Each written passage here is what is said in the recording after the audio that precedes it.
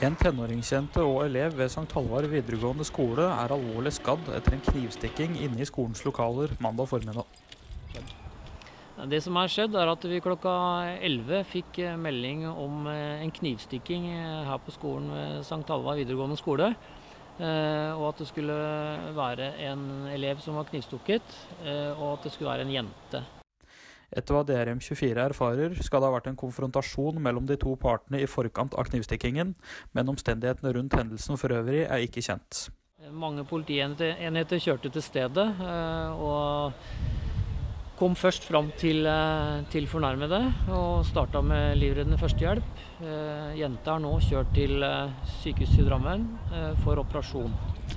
En eldre gjerningsmann stakk fra stedet etter hendelsen, men ble pågrepet av en hundepatrulje etter kort tid i nærheten. Vedkommende ble pågrepet eh, i nærområdet her etter at han flykta fra, fra området, og han ble pågrepet med hund. Elever og andre berørt ved skolen blir ivaretatt av helsepersonell og kommunens kriseteam.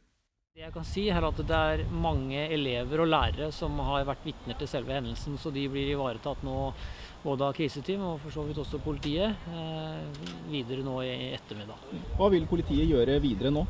Det vi gjør videre nå er at Vi har kjørt inn bl.a. ni vitner eh, til Lier lensmannskontor, hvor de vil bli avhørt. og Det er også naturlig å følge opp både skolens ansatte og elever eh, i forhold til det de har opplevd her i dag. Hvordan har elevene tatt det?